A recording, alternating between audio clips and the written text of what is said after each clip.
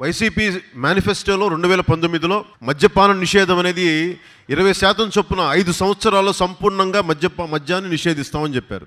ఇది వారి నవరత్నాలు ఒక ఆణిముత్యం.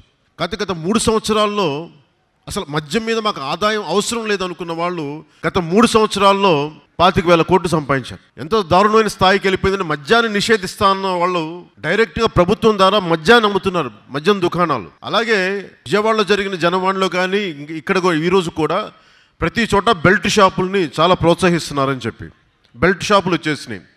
ఇదివరకు లిక్కరు ఒక వంద రూపాయలు నూట ఇరవై రూపాయలు ఉన్న లిక్కరు ఈ రోజున మూడు రెట్లు నాలుగైదు రెట్లు పెరిగిపోయింది. అది కూడా డెబ్బై రకాల లోకల్ బ్రాండ్స్ అని. ఆ బ్రాండ్స్ ఎవరివి అని చూసుకుంటే అదాన్ డిస్టిలరీస్ అని ఇంకో పది పంతొమ్మిది సూట్ కేస్ కంపెనీలని సబ్లీస్ తీసుకొని వాటి ద్వారా మద్యం అమ్మకాలు జరుపుతున్నారు. అంటే ఏ స్థాయికి ఉందంటే ప్రతి లీటర్కి హైదరాబాద్లో కూర్చొని కొంతమంది ప్రతి లీటర్కి ఐదు రూపాయలు చొప్పున కడితే కానీ ఇక్కడ డిస్టిలరీస్ వాళ్ళు పర్మిషన్ ఇవ్వరు అమ్మకాలకి.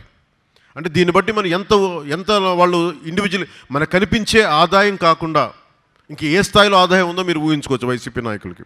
వాళ్ళ పేర్లు కూడా ఉన్నాయి కానీ వాళ్ళ బినామీ పేర్లు కానీ. ఈ బినామీ కంపెనీలు ఎవరి అంటే బొలారం శివకుమార్ శ్రీనివాస్ కశ్యప్ అని పేర్లు వినిపిస్తూ ఉన్నాయి. బయటికి కనిపించేవి ఈ వ్యక్తులు ఎవరో తెలియదు కానీ వీరి వెనక ఉంది కొంతమంది వైసీపీ నాయకుల బినామీలని ఇక్కడ పేర్లు ఉన్నాయి. కాకపోతే ఇది నాకు ఈ సభాముఖంగా నాకు చెప్పడం దీన్ని రాజకీయ పరంగా మేము ఇంకోసారి బలంగా తీసుకోవాలి దీన్ని.